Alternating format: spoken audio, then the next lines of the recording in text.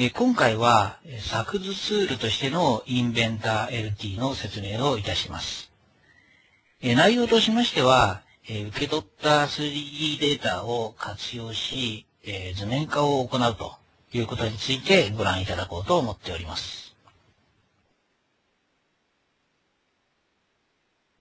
えまず、インベンター LT の作図機能についてですが、3D のデータを利用して図面の作成を行う基本機能に加え、オート CAD のファイルを変換なしに開いたり、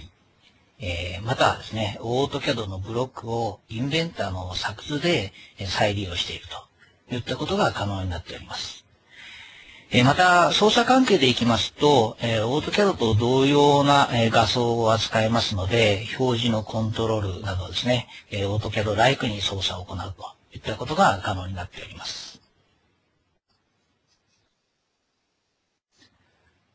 まあ、今まで 3D データを受け取っても、えー、閲覧しかしなかったりとか、またはですね、データそのものを見ないといったケースがあったのではないでしょうか。まあ、インベンター LT では、えー、他社の、えー、3D CAD のデータをですね、直接取り込むということができ、えー、そしてえ、そのモデルを有効活用しながら、図面を作成するということができます。さらに、取り込んだデータをインベンター LT で修復して、そしてですね、図面に自動的に、反映させるといったことができ、図面更新を効率的に行うことが可能になっています。さて、えー、それでは、インベンター LT を使って、実際に 3D データを、取り込んで図面を作成するということをですね、行っていこうと思います。えー、まず、えー、客客先からですね、え、3D のデータを受け取ったということを想定して、え、操作を進めてまいりますが、まあ、開けるファイルフォーマットはですね、ご覧のように、ネイティブな CAD ですね、他社 CAD データなど、またはですね、中間フォーマットなどですね、様々なデータに対応しております。今回はですね、ソリッドワークスのデータを使って図面を作っていこうと思います。さて、このスピンドルというデータを、読み込みましたが、これをですね、使って図面を作成していこうと思います。さて、図面のテンプレートなんですが、えー、こちらはですね、えー、最初に用意されているものの中にですね、AM 実施というテンプレートがありまして、これはですね、まあ、弊社のオートキャドメカニカルに似た、えー、配色と画像がですね、設定されたテンプレートです。これを使ってですね、作図を行っていこうと思いますが、まあ、ご覧のようにですね、え画像の部分で色を変えたり、これオートキャドライクにですね、作業していくことができますので、まあ、図枠をですね、赤に変更するといったこともですね、え今まであの、オートキャドを使いの方は慣れ親しんだ操作でもって作業することができるようになります。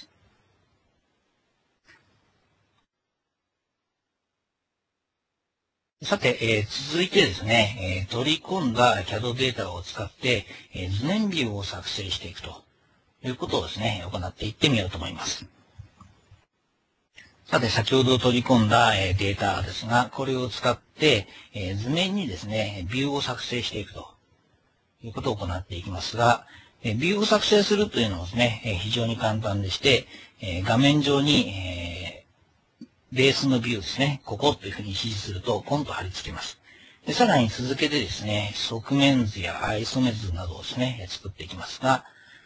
まあ、このように 3D データがあると、ま、簡単に、え、図面ビューというのを作成することができます。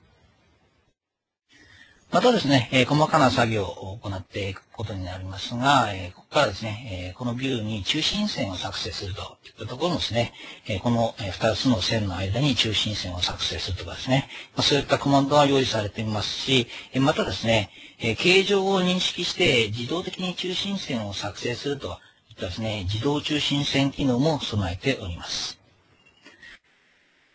そして、寸法を作成していくということになりますが、まあ、このようにですね、線のエッジを触っていくことによって、どんどんですね、寸法を、えー、記入していくことができます。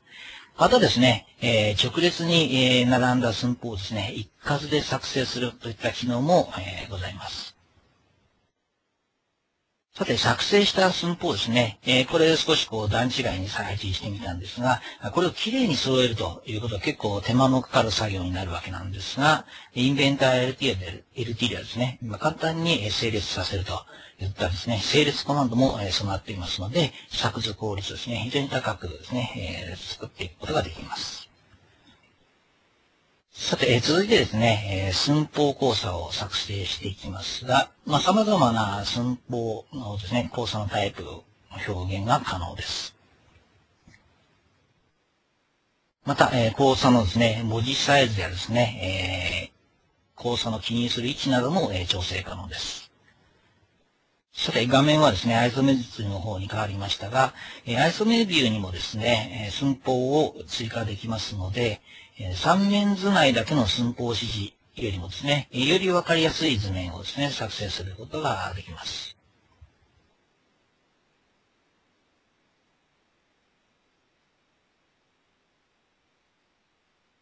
さて、えー、続いてですね、えー、詳細ビューや、えー、断面ビューなどもですね、作成していってみようと思います。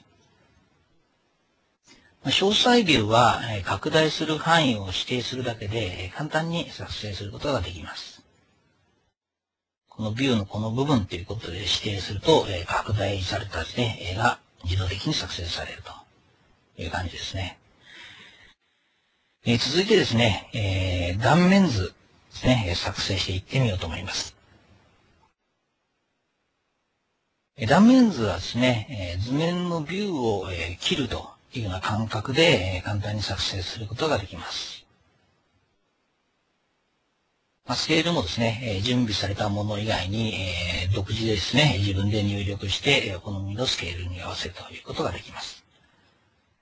それから位置もですね、親のビューの位置とですね、関連性を、保つか保たないかということも指定できますので、好きな位置に持ってくるということも、簡単にできます。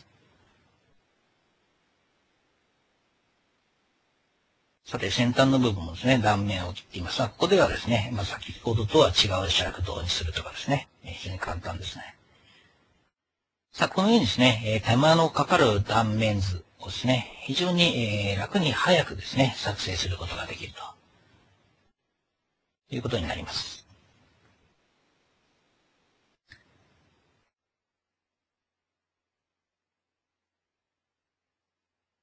さて、えー、それではですね、えー、少し先に進みまして、えー、寸法やですね、中心線などを、えー、だいぶこう追加した状態になってきますが、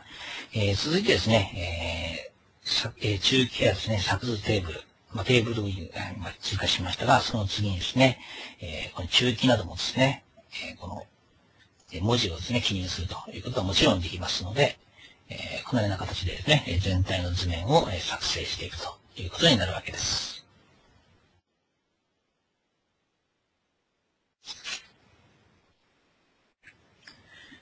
えさて、え次にですね、えー、図面を作成した後に、まあ、設計上やですね、えー、製造上、まあ、様々な理由があると思いますが、変更がかかるということがあると思います。まあ、そういった場合にですね、えまず、3D モデルをですね、修正していくということを行ってみようと思います。この 3D モデルですね、え読み込んだモデルを修正していくと。全体の長さがですね、変わっていくとかですね。えこういった場合には読み込んだモデルでもですね、非常に簡単に、えこう面をですね、ぐっと引っ張るというような感覚でもって、え修正をしていくことが可能です。まあ、ですので、インポートしたデータだからといってですね、えー、全然いじれないということはなく、えー、このようにですね、インベンター LT の中でですね、修正を加えていってしまうということが、可能になっております。またはですね、えー、このシャフトの径が変わった場合なんていうのは、えー、この厚みオフセットを使ってですね、えー、この円筒の部分に、えー、オフセット量、えー、例えばですね、えー、これは2ミリぐらい、ま、少し太く、太めにしていこうと。そして、えー、さらにですね、えー、変更の内容がわかりやすいように少し大きめなですね、えー、カットを加えてみようと思いますが、ここではスケッチに入ってですね、えー、まずここで中心線をですね、1個引いてみます。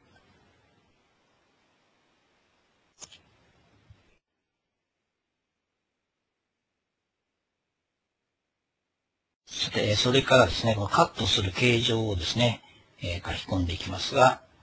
え、今回はですね、え、動きをですね、よくわかり、分かっていただくために少し大きめにですね、え、カットしてしまうというところをですね、見ていただこうと思いますが、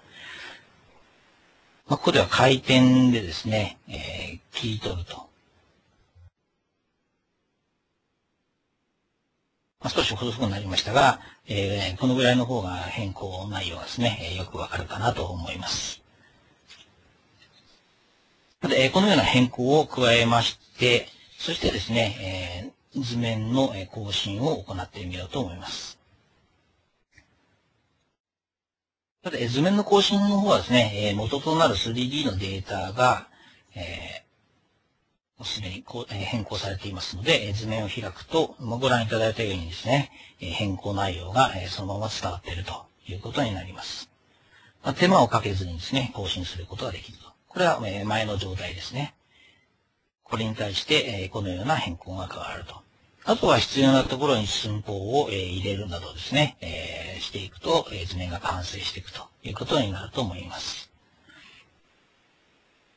まあ、このようにですね、インベント LT では作成、修正の手間を省き、効率的に業務を行うことができるということがご覧いただけたと思います。まあ、ご覧のように、インベンター LT は様々な 3D データを有効活用して、え、図面作成、その 3D のですね、データの修正が反映できる図面を作成するということができるツールになっております。えー、ぜひですね、インベンター LT をご活用いただければと思いますので、よろしくお願いいたします。さて、えー、ご覧いただきましたインベンター LT ですが、えー、詳しい情報につきましては、えー、この赤い字で書いてある URL ですね、URL ですね、こちらの方をご覧いただくか、え、またはですね、認定パートナー様に、えお問い合わせください。またこちらの方のページからですね、え製品体験版の方に、えジャンプすることができます。えですので、えぜひですね、使ってみたいと思われた方は、え体験版をダウンロードしてみて、えいただければと思います。以上でですね、作図ツールとしてのインベンター LT を終了いたします。